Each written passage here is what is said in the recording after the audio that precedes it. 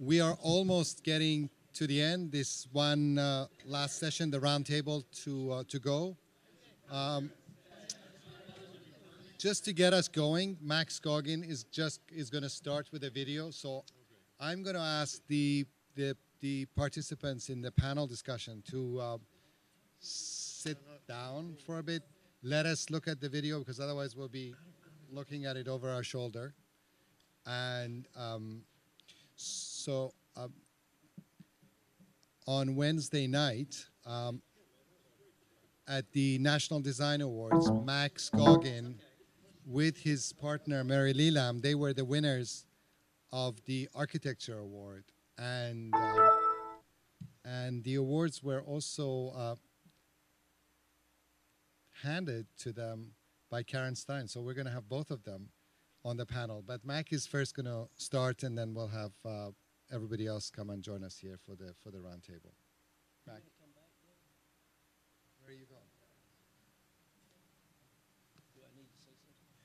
You can give it sure. Give a context for the video. Context for the video. Um, like two minutes ago, I realized I've been I've been teaching here in this institution for almost 30 years, and no one has ever asked me to explain what I teach. No one has ever asked me to show what I teach. So, or my students' work. So this is the first for me, and it makes me really nervous. And especially since I've got all these experts around. Um, very quickly, Rolf Fehlbaum asked me, after being introduced to him by Karen Stein, why don't we teach interior design in architecture schools? And I thought that was an interesting question, and I didn't have an answer. So I decided I'd try. How do you teach architect uh, interior design in architecture school? I would even say, why would you? What's the difference between the two? I mean, how can you have something that's interior and then something that's exterior? Where's the architecture? The architecture, I guess, then is between the two. It's that thickness of the wall, I guess. Um, I like that because you can't have the other two without. So we'll claim that. I don't have a position on this very much, but I I love I have loved the last uh, two semesters to try to balance between these realms and teach what I would only thing I can teach, which is architecture. Um, so I, I'm not going to explain the sort of entire pedagogy of these studios. It's kind of complicated in a way. But the basic, I think that you have to have a discourse to have a discipline, and that discourse is what sustains the discipline. And at the heart and soul of uh, that discourse is the critique. And then at the heart and soul of the heart and soul is the individual.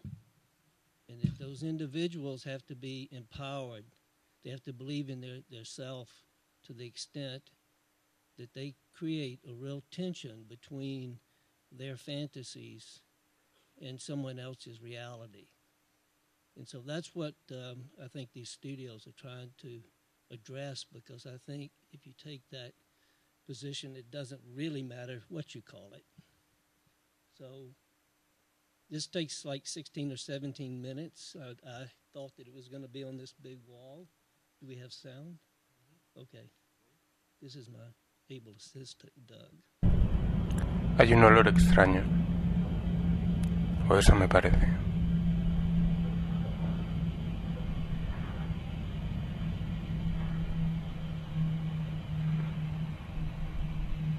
Dentro hay dos camas. Una cómoda. Un arcón. Y una fantástica mecedora. También hay telarañas detrás de la cómoda. Al pisar, el suelo cruje y notas un pequeño temblor. Hay una puerta, una ventana, una lámpara.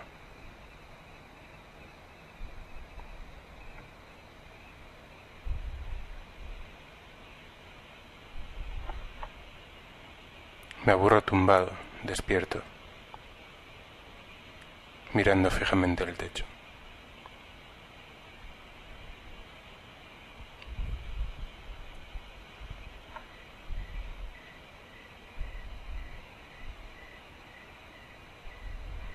A menudo me imagino andando allí, boca abajo.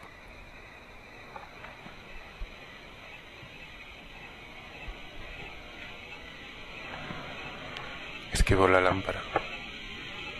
Empujo cuidadosamente la puerta.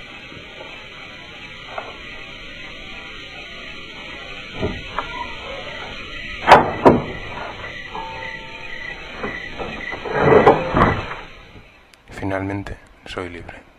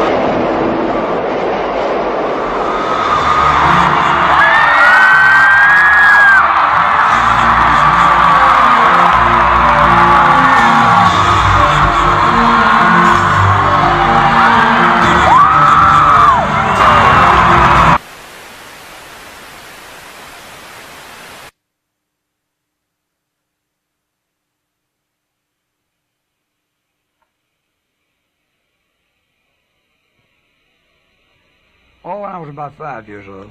I strolling through uh, my Aunt Calhoun, Uncle Lee Calhoun's home, uh, they had a piano. They were the people that had a piano in that part of the country. And uh, I walked up to this piano and I, I picked out a tune and I played Silent Night on it. And uh, my mother walked by and was listening and she told my dad, she said, Elmo, he, he's going to be a natural born pianist. And, he, and said, yeah, he might be a piano player. and so say there's a difference in a pianist and a piano player. I don't know. We're still working on that one. I was picking guitar pretty good when I was, I don't know, six, seven years old. I could pick pretty good guitar, you know, guitar. But uh, the piano was was fascinating to me.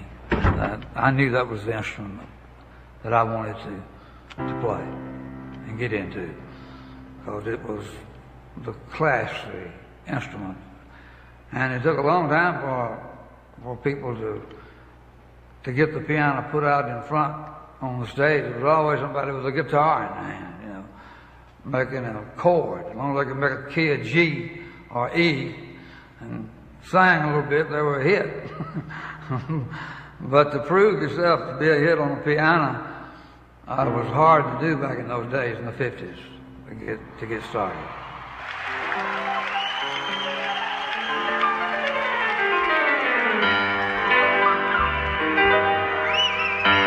You shake my nerves and you rattle my brain. Too much love to a man insane. You broke my will. What a thrill. Goodness be raised and balls of fire.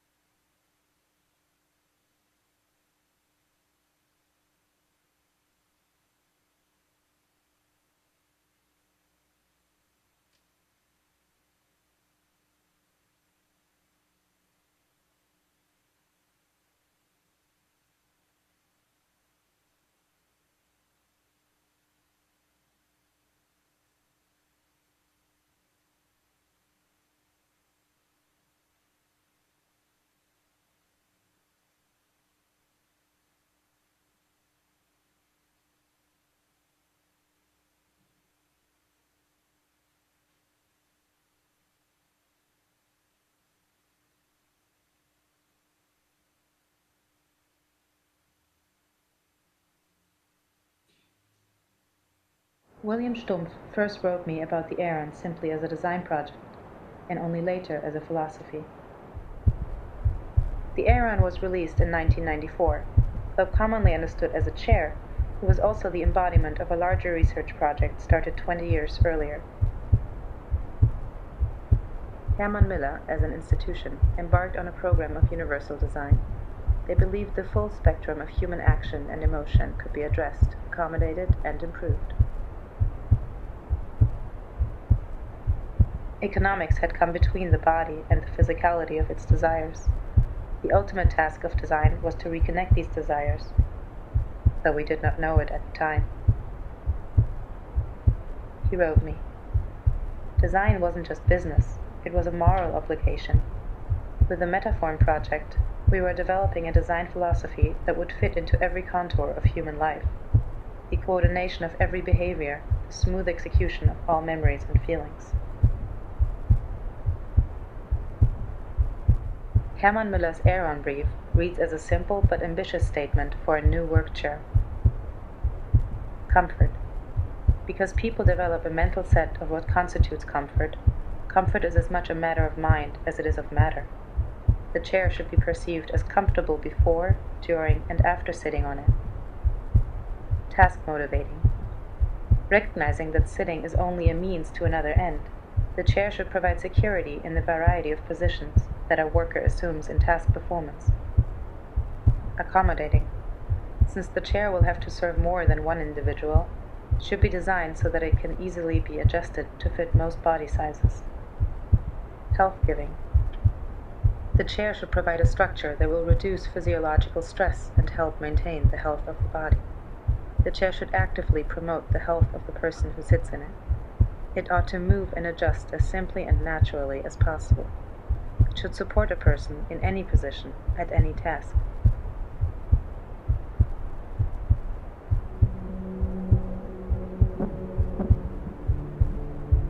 He wrote me. We created a hoax with the Aeron chair. I was never after a chair at all. The true Aeron was too ambitious to market. We wanted to improve every human behavior with the Aeron central mechanism. It was a truly universal design. It was infinite variability.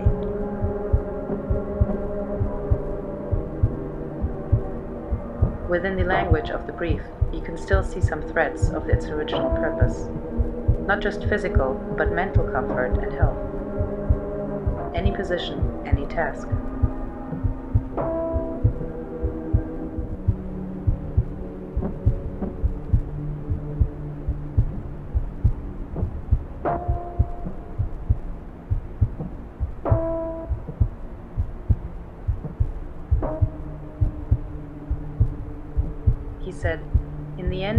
Constrained the Aeron. With a series of appendages, it was reduced to a chair. Perhaps it was the right thing to do, though I don't know. Despite William's claims of the universal, Aeron was ironically dependent on its context. Each use only existed in relation to something else the desk, the conference room, the telephone, CRT. Within every mention of universality is the contradiction of the particular. The Aeron, in its desire to satisfy every task, was crippled by its complete dependency on sight.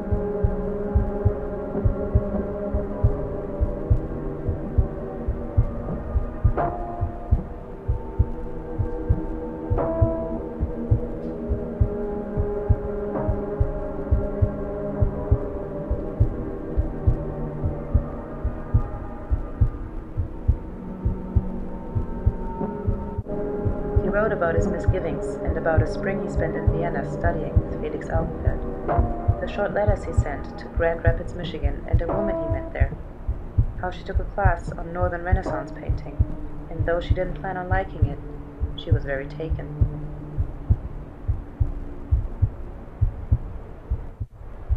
In the autumn of 2002, William sent me a clipping about the myth of Actaeon and a short note comparing hunting dogs with industrial design.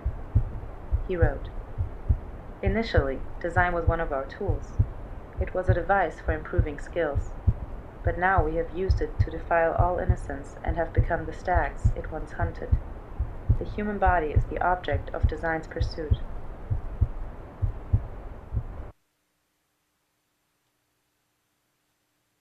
apologize to the students how grossly I've, I've edited all of their work. Uh, those projects represent, oh, I don't know, thousands of hours over three months uh, time, and they're much more complex. These are just little small snippets of, of the exercises.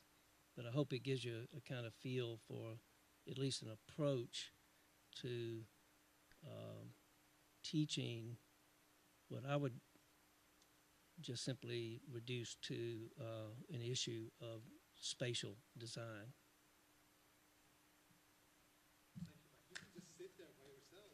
Yeah, right. You know. I, I wanted, I wanted to say one more thing on the screen here. Um, is a project that, uh, oh, I guess in about 1992 or something. I was walking up uh, the students will relate to this. Uh, walking by a review, and I just happened out of the corner of my eye see this project sitting on the floor, and I didn't see the student. Uh, I just looked at it and I couldn't help but just burst into the thing and said, "Oh, what what is that? That is fantastic!" And then I looked up at the student and I saw this little tear coming down her face, and I, and I realized. I, have caught this at a really bad moment. That uh, she was maybe not uh, being lauded by this, what I think is one of the best projects I've ever seen in the school. I wanted to put it up because I think what it does get at really something important about this school thinking about uh, the, the, the different sensibilities of, of quote, different disciplines because our student body is made up of a collection, 350, 400 of truly different sens- sensibilities. You come here, the majority of them come here, something that actually didn't mention in the history. Most of the students here have no architecture background, or very little. In fact, they can't have uh, more than, I think, two studios in order to get into the MArch 1 program. This young lady, which was later in a studio of, of mine, uh, had this sensibility. She knew how to sew. She made her own clothes. They were fantastic clothes, too. She could have sold them, but fantastic clothes. But she also had a computer background. Uh, in fact, she sold her dot com company at the height of the dot com craze to come because she got tired of it to come to the GSD and put herself in this vulnerable uh, position, and that was her first project. So it's an airport. It's a furry airport. Isn't that fantastic? That's it. That's it. Now,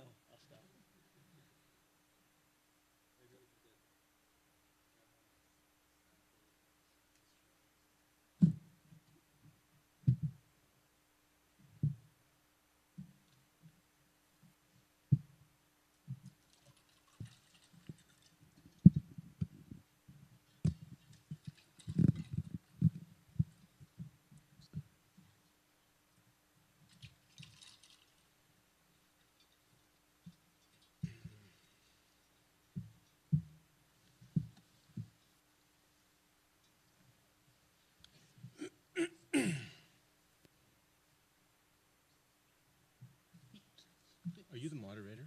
I'm not a, oh, I've never been asked to moderate either. No, no, no. You can spend the panel discussing who's going to moderate. Sit over here. I can- It's on? Yes. No, no, I'm fine. It's good. It's good. So we're we're on the doing the home stretch. Um, there will be a reception soon, so um, there'll be drinks and, and things like that. Um, so, Mike, thank you. Um, as I mentioned, um,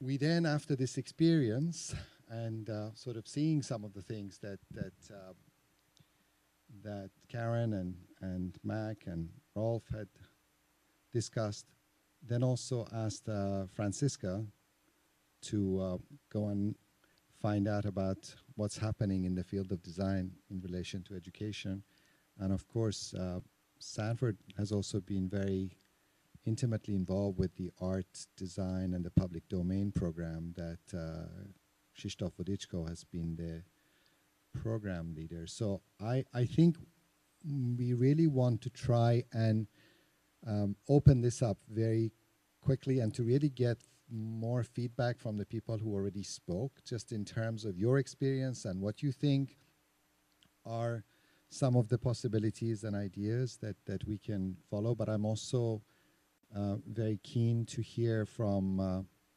from all of you, just in terms of uh, what your thoughts and reactions are to what we have seen and heard this afternoon. But perhaps um, uh, I could ask Francisca just also very briefly now, because you know, um, if you could just tell us a little bit in terms of what you found um, um that was interesting in your in your research about um, education related to to design. Well, um, so we go into the last part. I'll try to keep it uh, moving swiftly. Um, I think as as um, as Mose mentioned at the beginning, I was uh, commissioned actually, uh, well, by him and by the school to um, to actually do a little bit of research uh, regarding design and design schools uh, today. Um, I have to say that well, the, the the task, in fact, was to actually understand ultimately what could be some of the things that could be involved in or could be incorporated or could enhance uh, design uh, studies here at the GSD.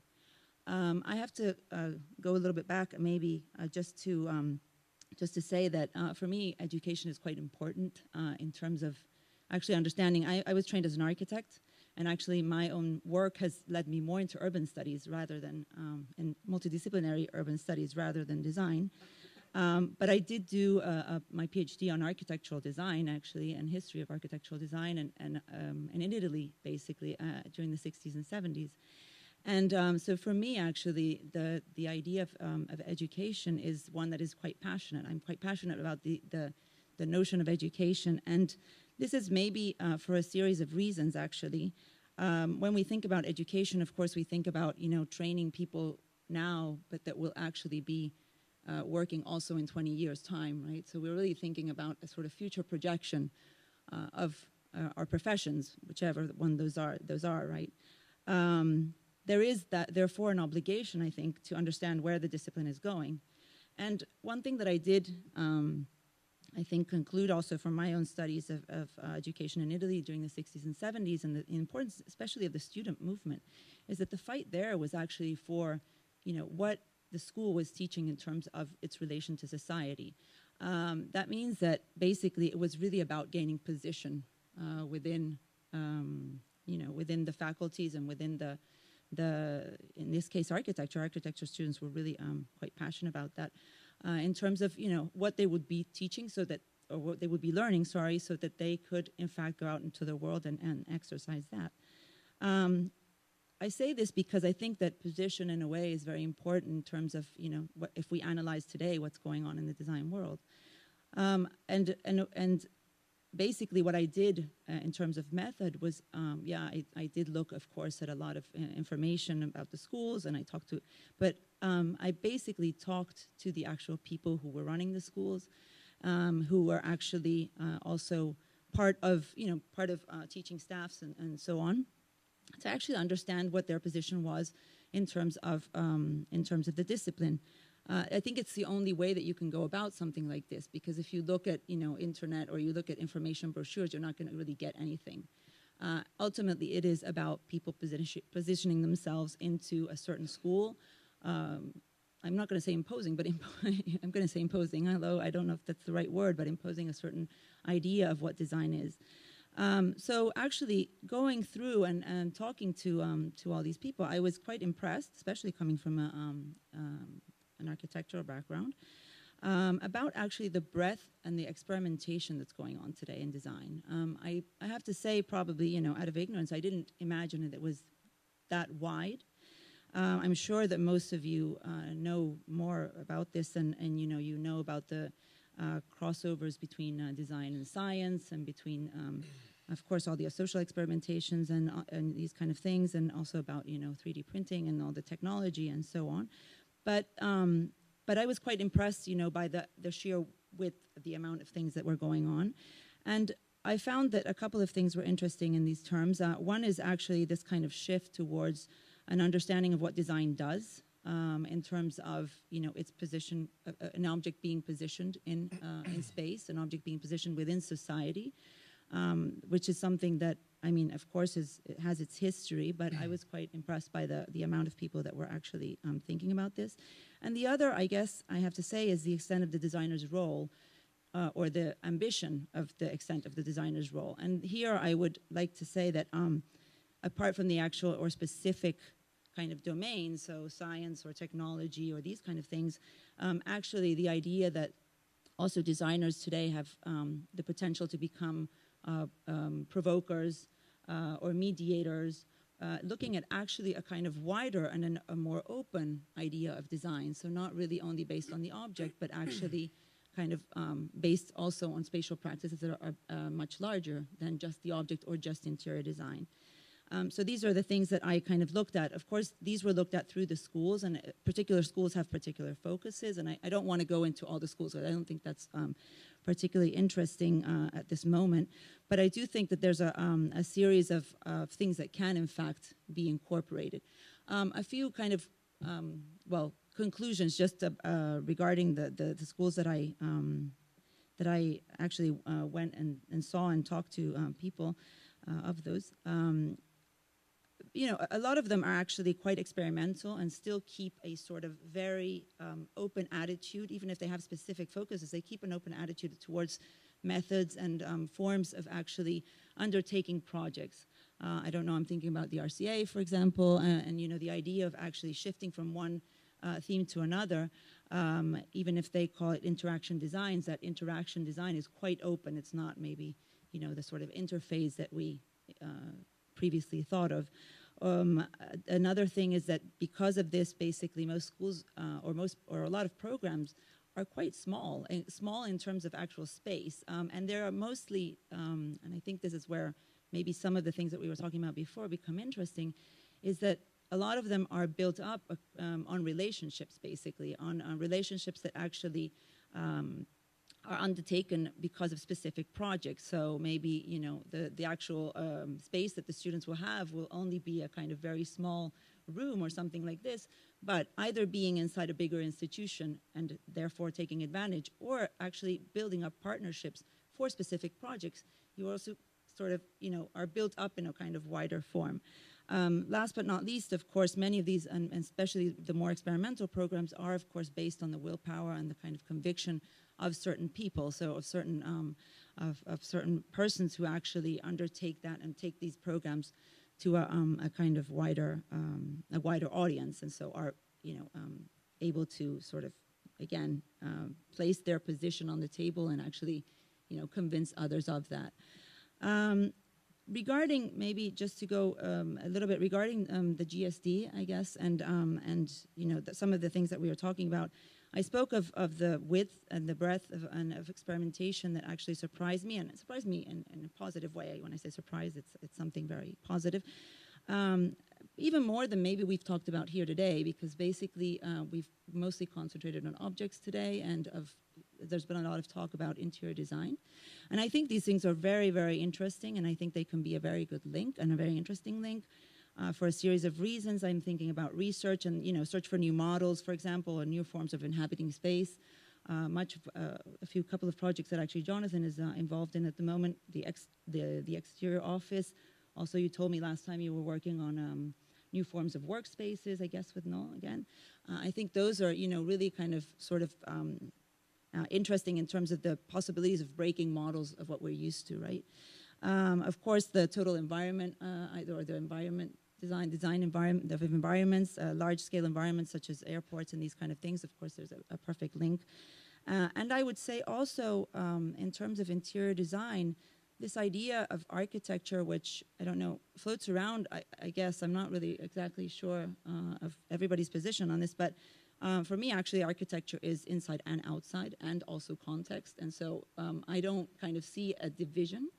Um, I do realize that in last in, in the last years, uh, or I think that in the last years, architecture has lost a lot of ground with regards to the interior, uh, especially because of you know specialists of you know, health uh, specialists or commerce, commercial specialists. And this, we get to a certain point where we're almost designing a sort of shell.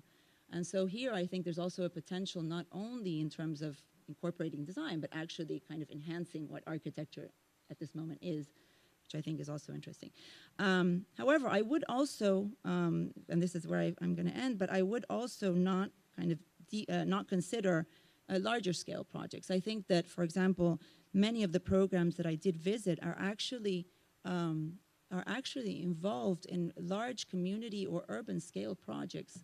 Uh, um, you know, helping with, for example, envisioning alternative alternative scenarios for uh, for different landscapes, or um, you know, as much as the kind of um, uh, massive change program, uh, and also some of the projects that are being done at the RCA again are, for example, um, regard regard um, policy making or um, you know or uh, uh, policy shaping, and so I think that these things are also on a different level, maybe not architecture, but more urban planning, maybe you know more regarding landscape design and so on could be also a different uh, idea. So I don't, uh, or something else that could be incorporated. So I wouldn't kind of just say it's only interior or you know object in space, um, or as I think also the art and public domain um, program does, you know how to affect the city from an um, um, art installation point of view.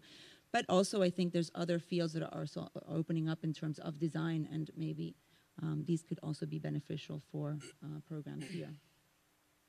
Thank you.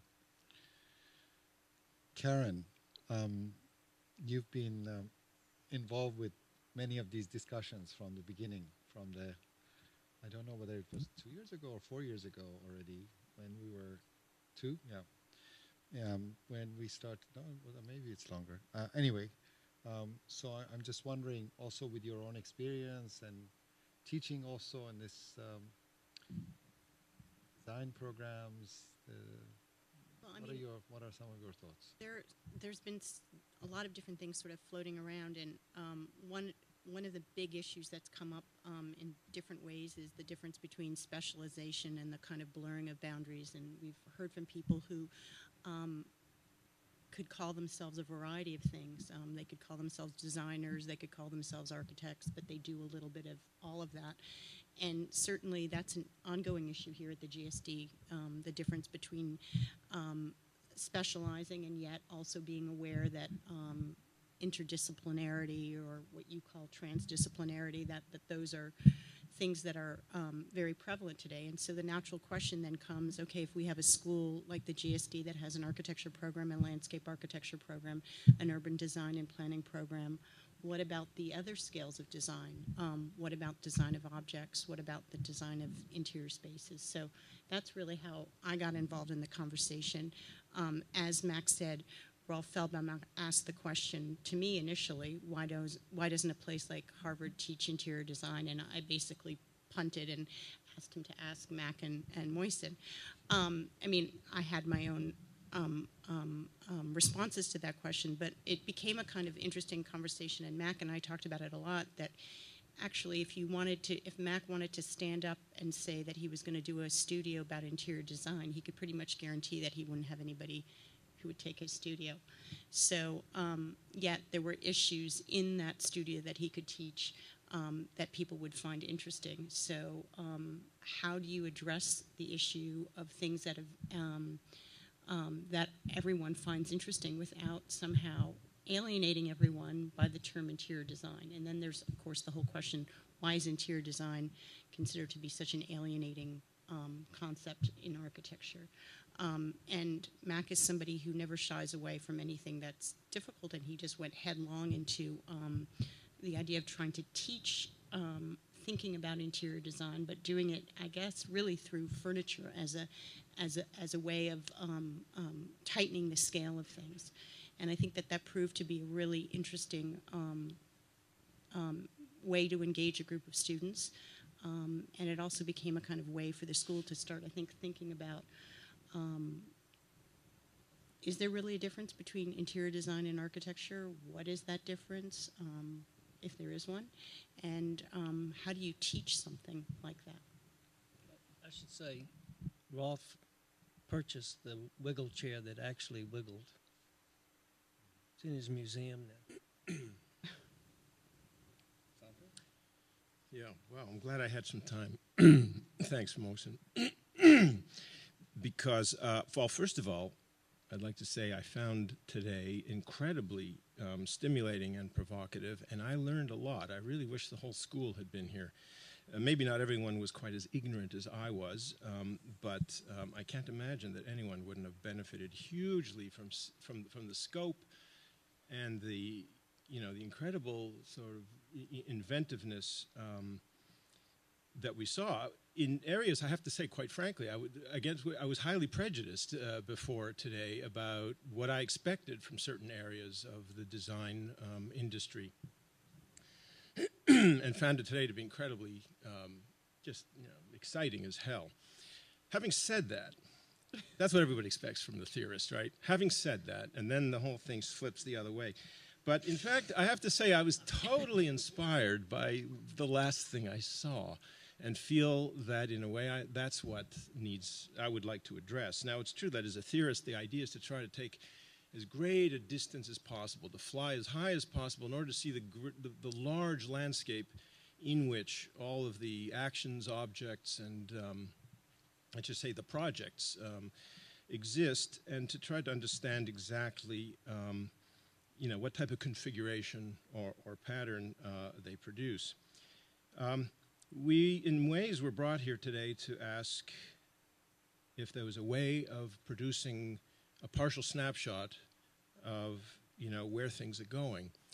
Um, but again, as a theorist, there are reflexes that one has, and one should uh, prop, perhaps also try to remind oneself to ask also, of course, in addition to that question, is really where the question might be where uh, could things go?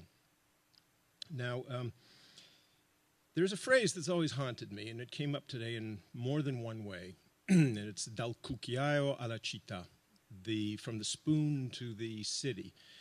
Uh, when I was apprenticing, so to speak, in architecture, there was one test I learned, always gained one a certain kind of an upper hand, and that was the litmus test would be what does this in any architectural object, what does it have to do with the city?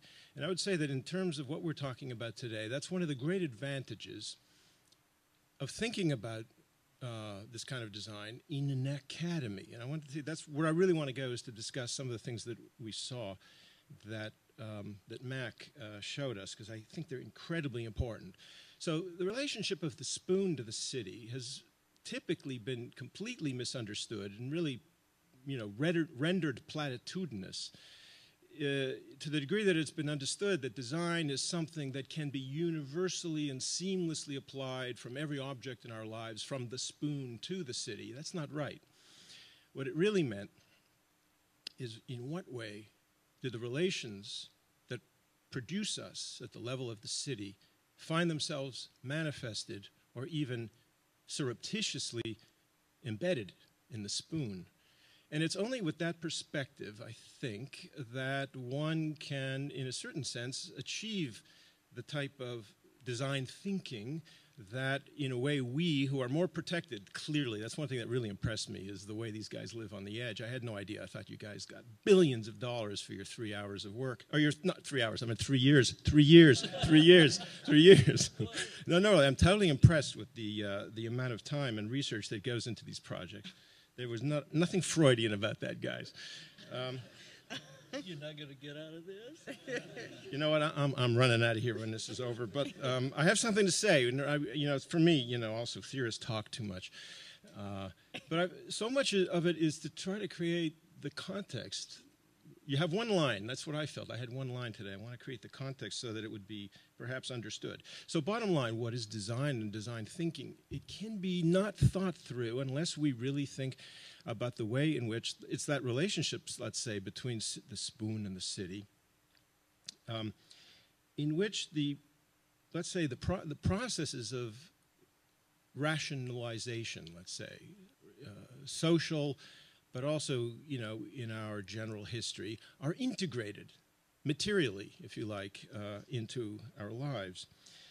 Now, um, where I want to get to has to do a little bit with that extraordinary film that, well, all the films were incredible, actually. And there is something already about that step one goes to when one produces um, the narrative and the mood in a four dimensional environment like a film. And it really does change the whole thing because there's this incredible presence of the psychic integration of the objects in one's lives, which we saw right from the beginning. That thing was like a, some moody Spanish film from the 1960s, um, uh, to this incredible thing about the Aeron chair.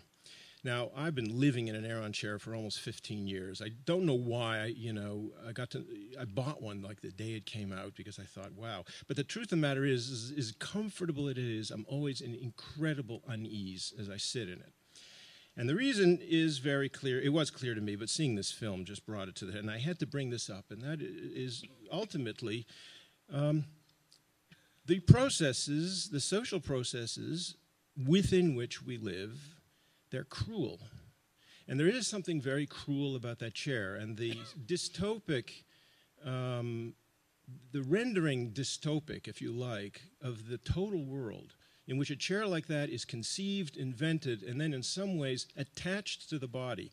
The way the chair is designed to completely anticipate every possible move you can make at the desk strikes me as something that needs to be placed in as large a context as possible.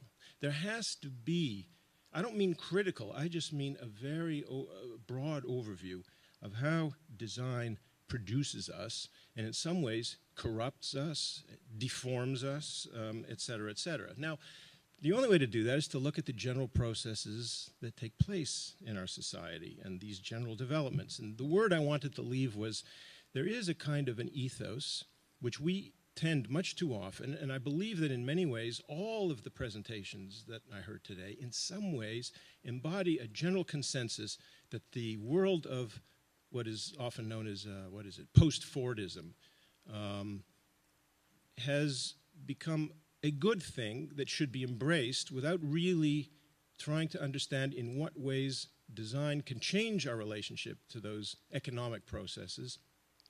And perhaps liberate aspects of the human being from this image, I guess that Max Weber was the one who gave us, of being a, simply a vocational man, a, a, a, productive, uh, um, you know, uh, personnel, if you like, in, uh, in our society. And I think that it is in the university uh, or in the graduate school where questions like that, the broader questions, um, can be posed, which, frankly, I wonder the degree to which the, indus- the, indus- the industrial world um, is really able to entertain that kind of uh, uh, research. We can all go home now. Well, that's a provoca- provocation, really, uh, to, to the designers who must deep down feel that unease about, in a way, about everything they produce, in the sense in which it simply oils the gears of uh, consumerism, um, media, and uh, integration, if you like, as a you know as a productive individual into a workforce. Uh, the ways in which the mind, in fact, is routinized by the designs that we produce, or merely uh, uh, anesthetized in some cases by the kinds of shopping pleasures that design has come to um, uh, represent in its largest context. Perhaps maybe in maybe in the uh, what is it called? The gift shop uh, curation uh, idea. You know, what can a gift shop be? Could it be this sinister environment of the film we saw? Any responses? Should- from I don't want to shut of the down the conversation. presenters or- I can respond on a Yeah. couple of levels. I mean, I spent a lot of time talking about chairs. I loathe that chair, absolutely. And I'll tell you why I loathe that chair. First of all, we don't make it. But I think that the other reason why is is that it's extremely prescriptive. And the, the other question is, and this is an office furniture manufacturer telling you something that you know what, you're not supposed to sit down for eight hours. So the basic principle of maintaining comfort in a chair for eight hours when you really shouldn't sit down for more than an hour at a time before you get up and walk around is the most ridiculous concept on the face of the earth. So the, the, the, question associated with that chair is, is that has it been borne upon us by insurance companies, the ridiculous nature of this abstract concept of ergonomics? Until two years ago, you had to wear four inch high heels in Germany in order to sit correctly in your chair in a secretarial setting when you didn't had an armless chair. That's until very recently. This is bullshit, frankly. But the other question is, is that you can't then relegate every other chair. So let's talk a second about what is the chair in an overall environment. In an interior space, when you're in an office or you're someplace associated with where a particular person sits, okay, you ascribe the understanding of that person's presence or not and the space belonging to them by that chair. Okay? You're talking So the about office uh, chair- correct. partitioning. The office chair Your takes chair on you. the relationship or the understanding of it is you. You understand that that person is there or not there based on the fact that that figurative object is in that physical space. So the real question is is that who serves who, right? Is it the chair that's you or is it that you that's you? Should you sit on a ball? Should you sit on the floor? Should you if you listen to Galen Cranz, who's a great scribe who wrote a book called The Chair, who's someone who deals with the Alexander technique, she says the chair is the ruination of Western civilization. Okay?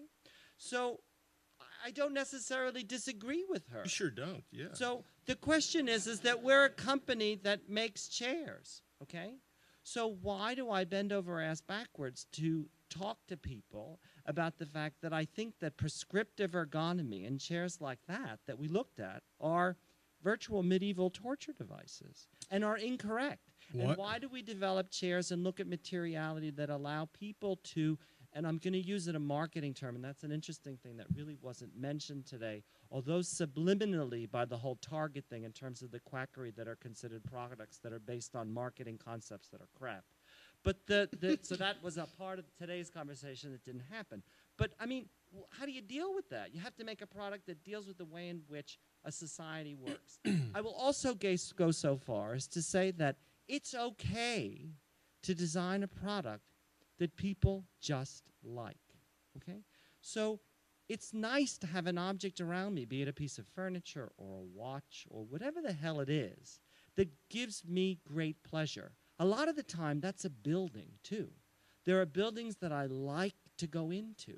I like to be in the intimate spaces and the public spaces. So the argument, I, I think, is, is a similar one. I can't think you cannot extract everything associated with being a torture device in that sense because in fact that film is correct that's what that object is about but how do you define the, the real problem is how do you define the problem what are you solving for But that's what- the basis That's what we it. need to do. Right. You have to s hmm. what, you have to put together a list. For me, it's a brief. I say, what are the things that I have to solve What do you Right. do with these ideas? Do you, you, do you talk about this stuff at Knoll? all the time? Yeah, it's These easy enough, realistic- right? Because it's a Herman Miller chair. No, but I can say that about but I can say that about products that we have. You we have a chair that I detest. It was a chair that was based on a styling exercise based in an idea that said we want to have a low cost chair that's about penetration into our dealer markets and, and distribution and what we're going to do is style manufactured parts. It's crap, okay? It doesn't sell. It's a product that has absolutely nothing to do with our image. So come on, those are the kinds of things that get weeded out of a collection. The company has integrity, it has a background, it has an understanding of what those objects are. Please don't dismiss them. Please don't dismiss the thought process that goes into defining the problem and trying to help people do what it is that they do all day long in their work, however it is that they need to do it. Those are the serious questions. I could be critical of work that I have done where I have not, where I've made mistakes and so on and so forth. But to get back to one of Murray's points earlier in terms of how are you looking at what other people are doing and how are you looking and how are you bringing those companies together? Well, it's the same question in the reverse.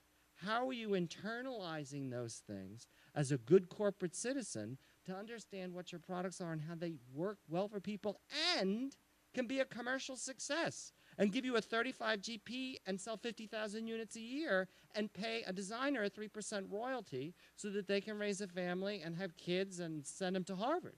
So the, the real question, I mean, those are real things. Uh, you know, I, I, I think this idea that product design is somehow differently from architecture because it's a commercial product is is a, a little absolutely absolutely it, it is a it's a commercial product absolutely in in all sorts of ways I don't think that's a I don't think that's a distinction between difference between I've worked with Herman Miller for like 20 years doing buildings for them and I can tell you not one time did they talk about commerce. Uh, I've watched their products developed.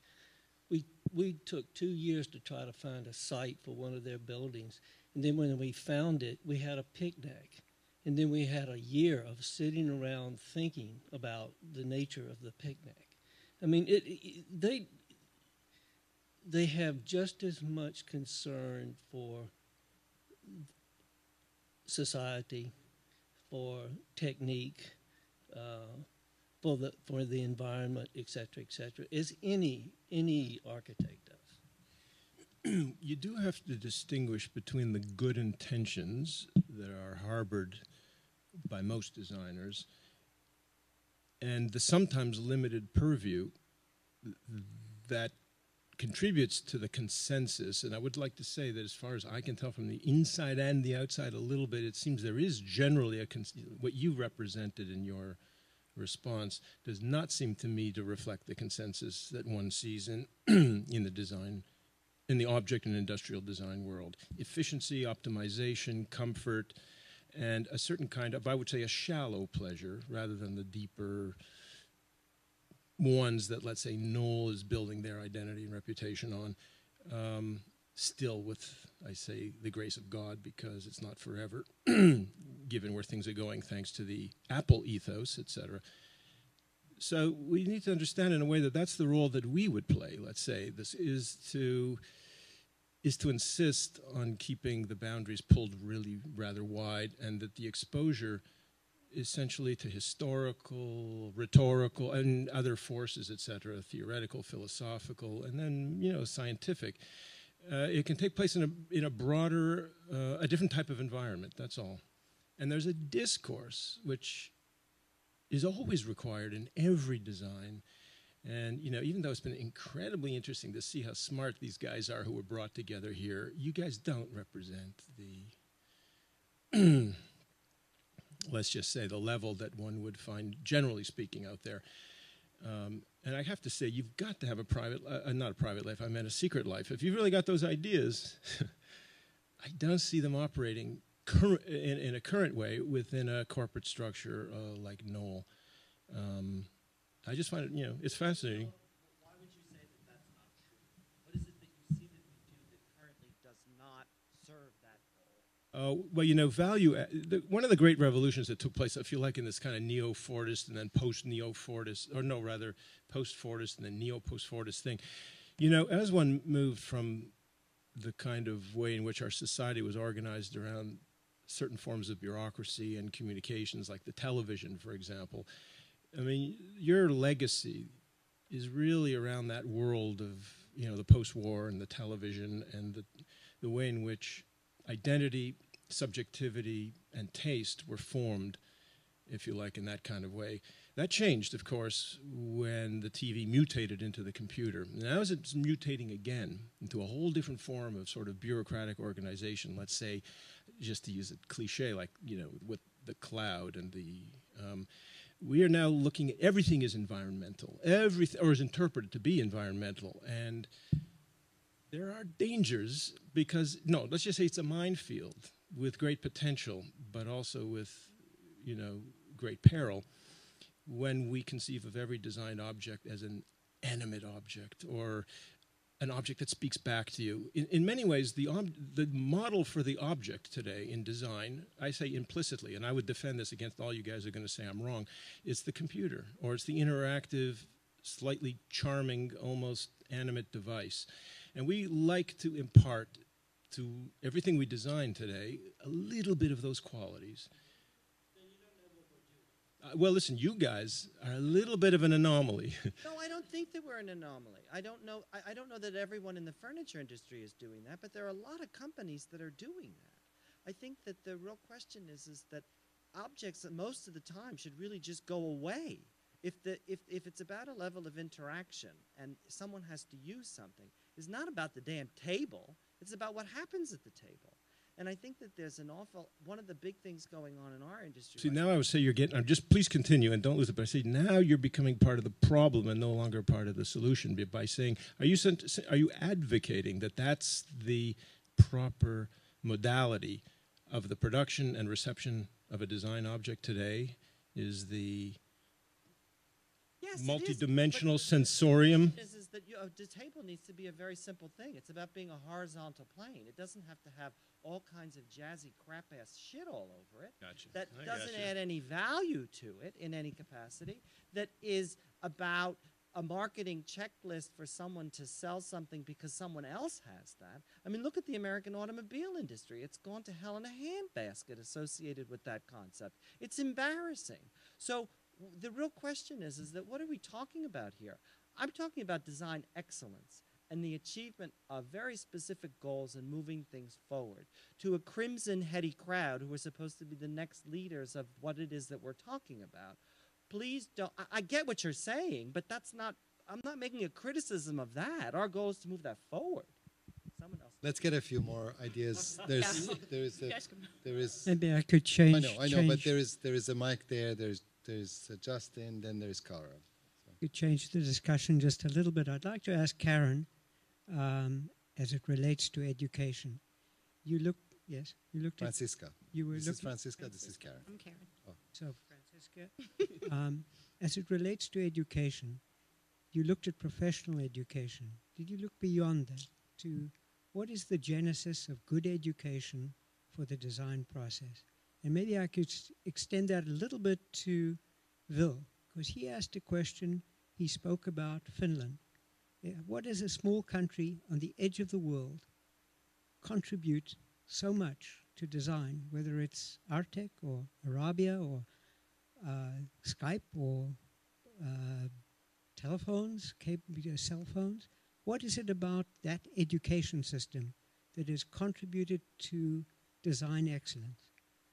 Um, let me we'll just broaden it with one, let's- one let's more thought. it, One yeah. more thought, which is There's limit to in a world that there is crowdsourcing and Lego is reinventing the notion of design and creativity, to what extent does that come into play in changing the way we think about design education?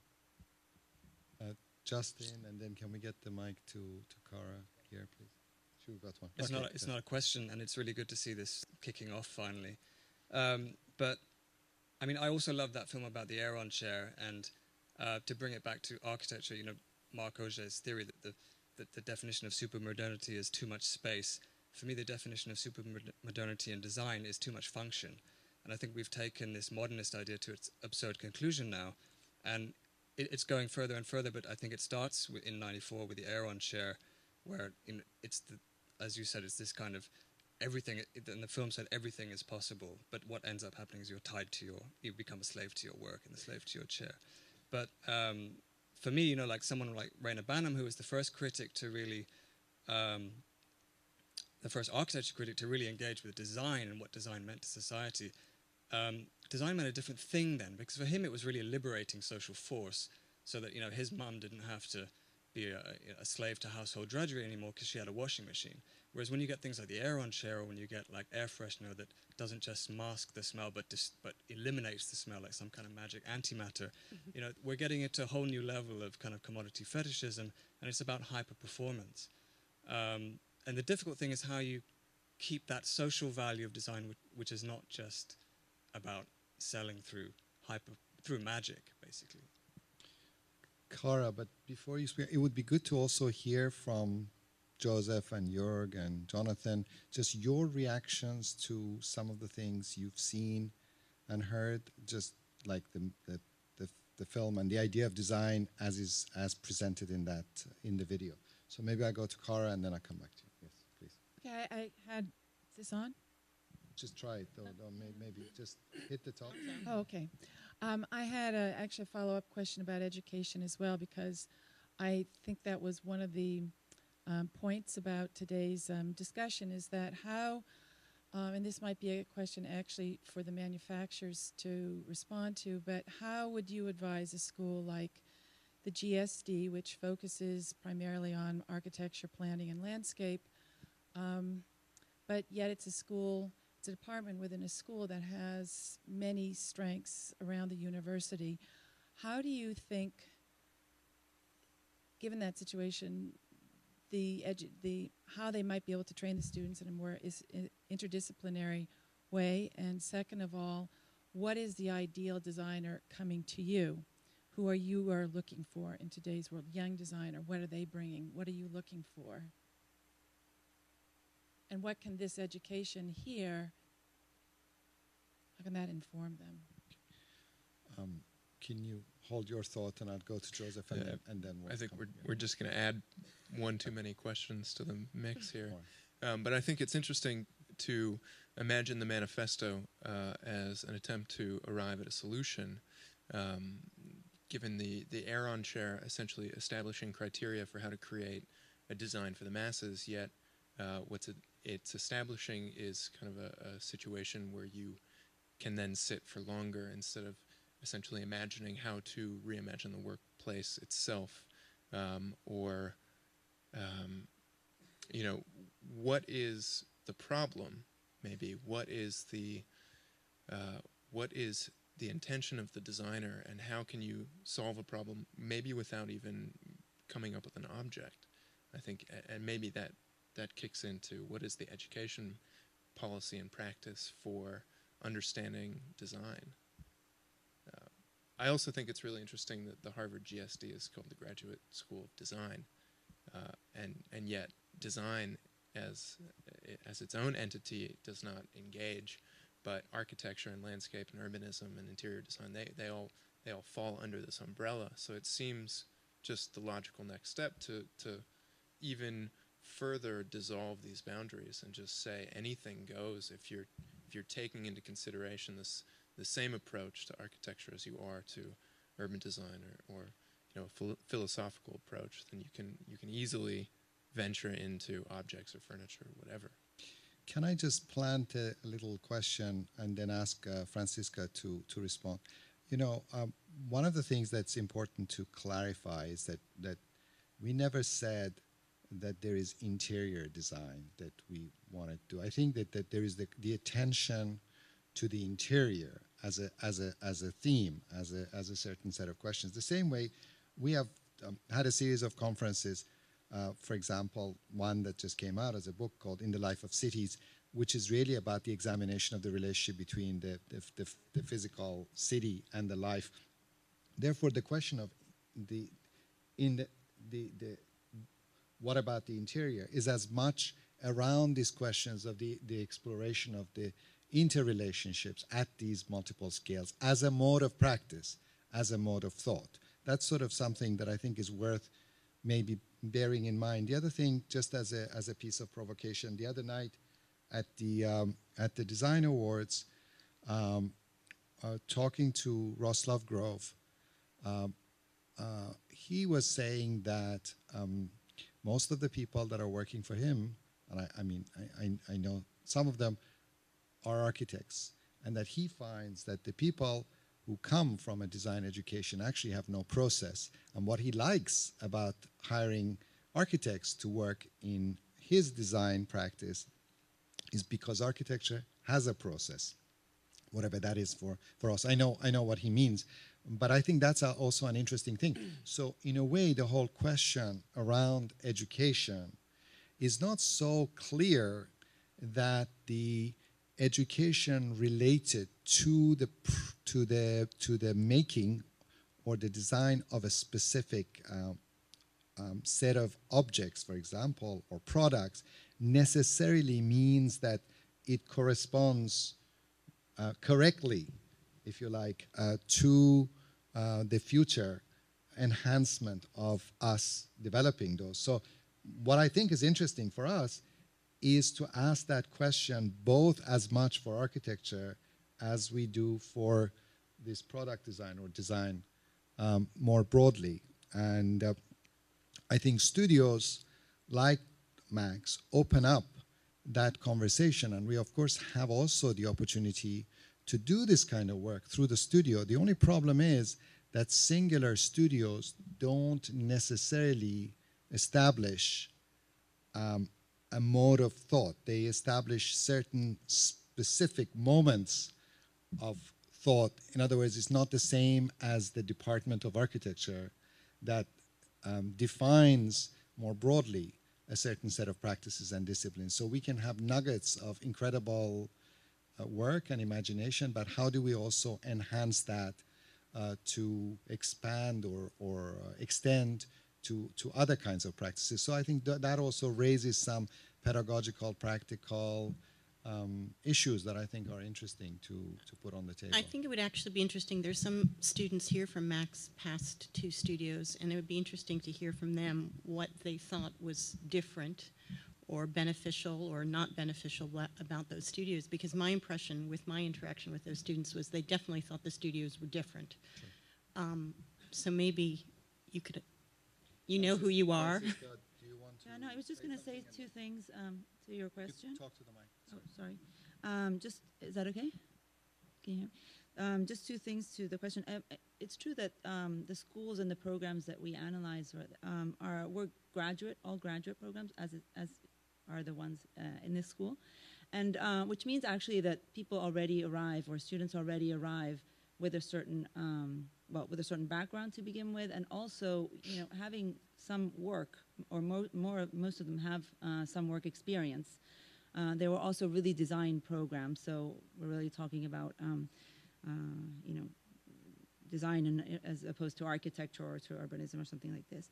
Um, and in that sense, um, well, I mean, there's a lot of there's a lot of different sort of approaches to this, but um, I would say that most schools tend to um, want to make or, or um, how do you say this? Um, enhance actually the individual um, in terms of their own interests, uh, and actually instill, and probably this is the kind of um, thing, uh, is a sort of criticism towards you know the objects that they are producing, a sort of self-criticism towards the objects that they're producing. So basically, at least in many of the of the programs that I've I found uh, more interesting and also that are quite successful today, in fact, there is more than uh, you know. Um, teaching or you know um, uh, passing on certain skills or certain things like this. It's really about you know thinking about putting the the, the person in a in a kind of uh, position right to actually. Uh, be able to understand again what that design is actually doing within society, within um, within um, you know uh, the field and within space, right? Um, finally, just to I, I know you asked the question also um, uh, to Villa, but um, I think there's also different sorts of education at the same time, and it's not only uh, school-based. Uh, I said before that you know most of these people uh, or most of the participants actually do have a, a bit of uh, work under their belts, um, and I think that that's also, of course, you know, we talked about practice and and um, and how that teaches you also, and how that's really kind of where probably the the hardest part begins in a way, the the actual work. Um, there's also, uh, I think, different centers of innovation, like for example, you know, Indaba uh, who uh, are out of South Africa, come out of South Africa, and it's really um, a, a, well, it's it's a company actually or a corporation that actually has placed uh, South Africa and Cape Town in the at the center of the world, uh, you know, um, map of design, if you will, uh, through the work actually of creating conferences and creating workshops and creating uh, competitions in a place where they didn't exist before. So I think there's actually different sort of modes also of operation, and you know, people kind of uh, are educated or also choose these things as different uh, modes of actually um, improving their own um, in education. The second part I didn't understand uh, too well. The, the, the Lego. Go here, we come to you, Yeah. and then. Jonathan, are there any of Mack's students here who want to uh, speak? Oh, there you go. Just briefly uh, about the, the Finnish education system and the, the schools of architecture and design. Um, it is actually quite, quite um, the system in a way is cool in, in many ways and, and, and perfect in, in several other ways. The universities are free, um, and uh, but and then the nation's population is extremely small, only five million. But there's a policy that the schools don't take uh, many students to the programs. Um, as an example, you can calculate with, with your hands how many theaters there's in Finland. And as, as, an, as an example, I believe um, a few years back they only accepted two students to uh, study scenography, just because the fact that there isn't jobs available. And I think annually they take to the product design course uh, 12 students and this is there's two top universities in in, in Finland and, and so it, it is quite quite cruel but the attention that each student gets per teacher is, is quite big and I was I was in Helsinki um, a, a couple of months ago, and so got a short history lesson. I understood though that a lot of the transformations that have happened uh, in Finland have to do with the economic transformations. You said that um, at one point, I mean, you were a relatively poor nation. And I think there was a, a specific policy of trying to see what it is that you need to do to get out of that situation. So, in fact, there is a there is a design. There's a kind of radical agenda that happened where you did move towards design and technology, and and you don't have a long history of those companies. There's a very you know, a lot of those companies have come about during a relatively short period of time. Very true. Yeah, and now uh, since a year and a half ago, the main uh, three universities: the School of Economics, uh, the University of Technology, and the University of Art and Design, fused together. And this was an initiative of the School of Design when they realized that uh, they had one project called Industrial Design Business Management, where they combined always a company, uh, students from economical background from the business school and, and engineers and designers. And then that uh, let's say 15 years ago then that ended up that these three universities fused and now it's called the Aalto University. Uh, but when it comes to the question regarding uh, the company that I work for we represent a very very narrow uh, industry and and because of the company size and and the, the possibilities that we can work on maybe only uh, under 10 projects each year, what we ex- expect from a designer that we work with is um, extremely good understanding in one particular area that they have to solve, and not so much um, someone who can master uh, all different scales, but has perfection, let's say, in in uh, background in carpentry or or uh, lighting design or um, a particular uh, um, unique qualification. So that's from my, my part trying to uh, answer Kara's question. We need to wrap up soon, so I want to please go to you, to Jonathan, if you, and then and then maybe you can get the mic to the student. Please, you go ahead. No, you go ahead. Please. speak a little bit to this idea that you began with with with this multidisciplinary approach to design. And the idea that um, there is an underlying pedagogy i think that addresses all forms of design.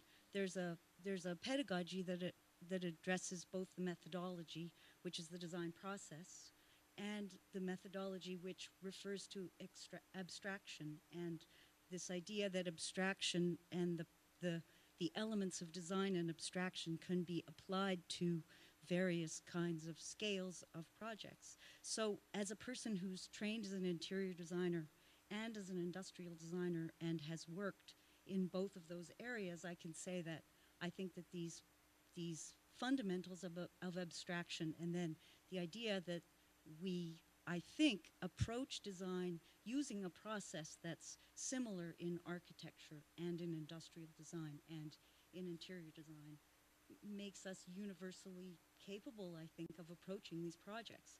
And the other thing, just my observation, is that Knoll and Herman Miller and Artek are ideal clients for industrial designers. I think that um, these are the companies that we really look to as um, as being the proponents of design, as the companies that are driving design in the best sense. And I would say, having worked with companies like Cuisinart and other um, manufacturers, that the design brief is an intrinsic part of working you know, on an industrially designed object, and that the word that no one has really used today is is anthropology. And you know, Kara or Carrie, Carrie suggested that industrial designers love to go to the Cooper Hewitt and go through the archive and look at the objects there, and then create an exhibition that's based on the references from those objects. And I think that that sort of speaks to the fact that we are connected to these objects that we use, and we are searching for the reasons why these objects were designed. And that's sort of the foundation, I think, of where industrial design comes from.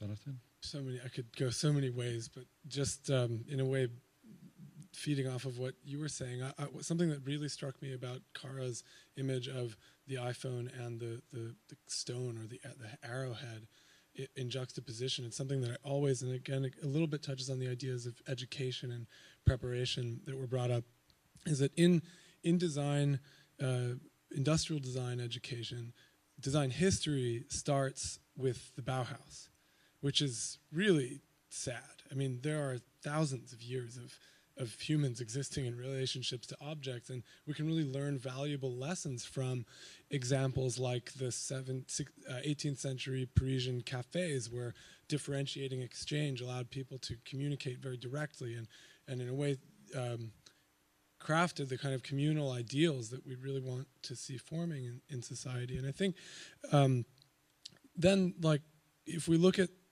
that relate those relationships that often go understudied or under uh, discussed in design. And then we start to look at this idea uh, that, that Sanford brought up about like consumption. And it, uh, I start thinking about how, like for instance, in um, I remember in Mutations was one of the first books that I bought on design when I was 18 years old and 19 years old. In that book, they have they have this young, real description it? of. Um, he just aged you. They have this real description of. Um, the the shopping space in airports and how, how the kind of dollar per square foot is is rationalized in these kind of shopping spaces and I think that's a perfect example of of architecture and design falling victim or, or rather playing the hand of some of the, the evil forces in this world or the forces that really kind of bring about a, a kind of a blatant consumerist attitude without any um, without any commu- communal values other than you walk through our mall, you buy, and then you get on your plane. And uh, rather than having some kind of communal environment where people can sit and enjoy time, and you're kind of forced or shuffled through the shopping mall, and, and it's the products on display, and it's the architects who, who worked on that space, and it's the developers who, who are really, I think, uh, the more discourse we can have between design and architecture, the more tools we, we would gain to counter that that attitude um, in society that often I think degrades some of the most, more important rituals we can help establish. So, yeah. Sanford, you want to speak up or no? Go, go. It's fine.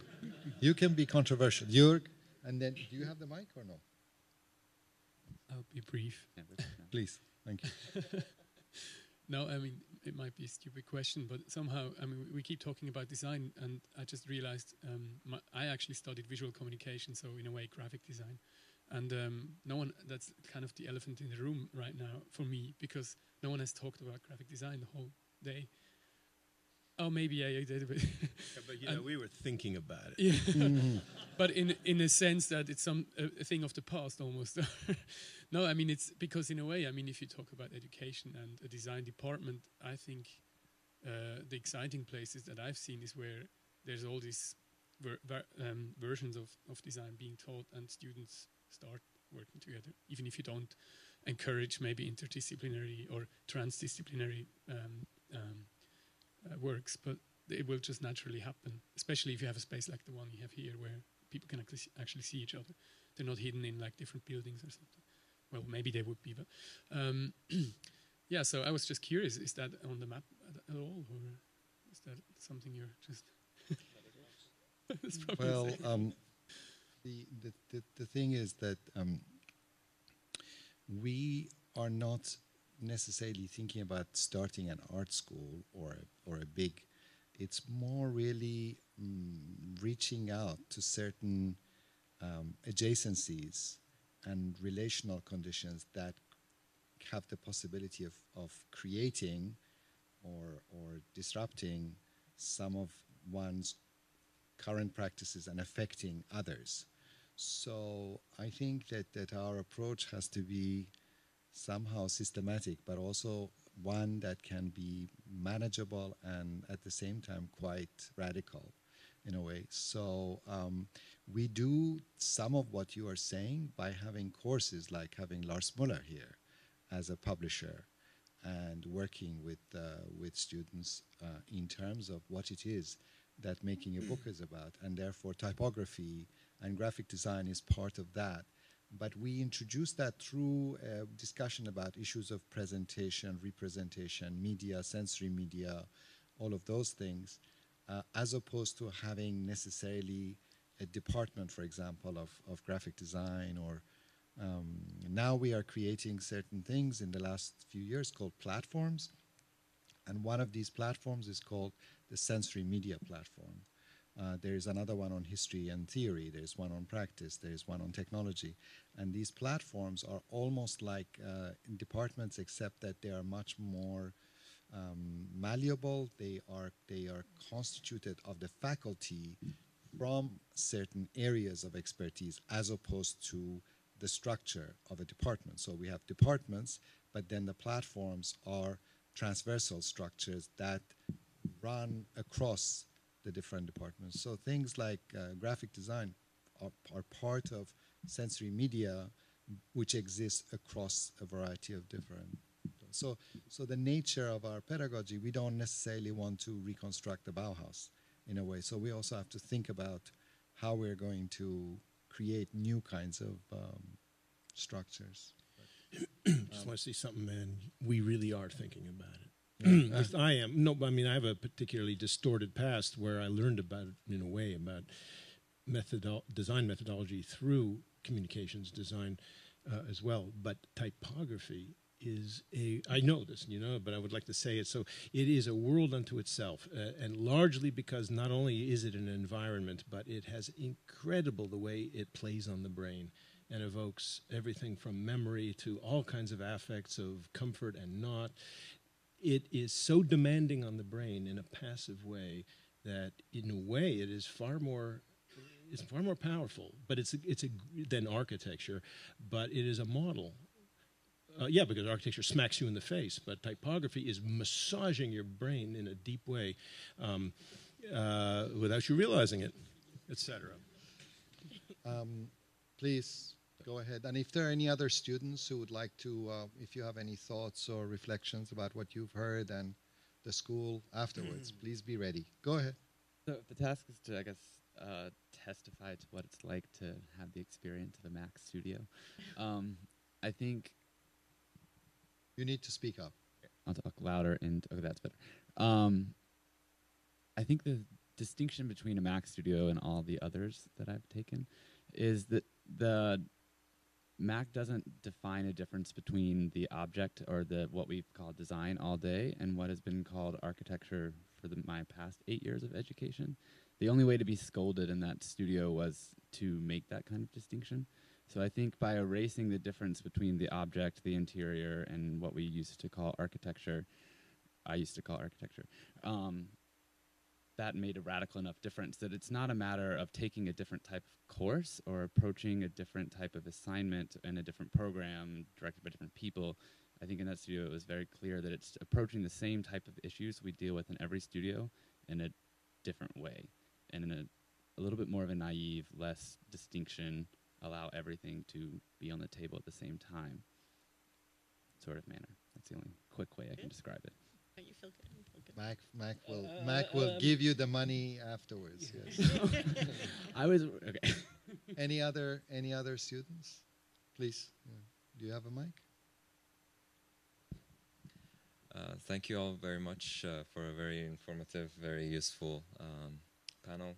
Um, my through my experience, uh, it seems like in every architecture program that uh, they try to introduce the interior concept and uh, the the concept of uh, kind of furniture. Uh, it seems uh, very connected to what we do, and um, like you were saying that um, it's it's very useful and it's never separate. Uh, it doesn't become a separate entity for me it, through the experience I've had uh, with kind of taking a furniture uh, studio or um, kind of embedding that. Uh, it's once it's in, introduced into an architecture program, it's it seems to become a part of it very seamlessly, uh, and uh, I think. Uh, it's it's a very good step forward for architects and designers to uh, and since since the way we are kind of trained uh, through an architecture program to have, uh, like the gentleman was saying, uh, Mack's student, um, have everything be on the table. It's it becomes a very seamless uh, transformation between uh, different scalar uh, issues, um, whether it's furniture, interior. And uh, as gets as it gets embedded into architecture, and then the architecture becomes a larger scale into an urban, urban environment.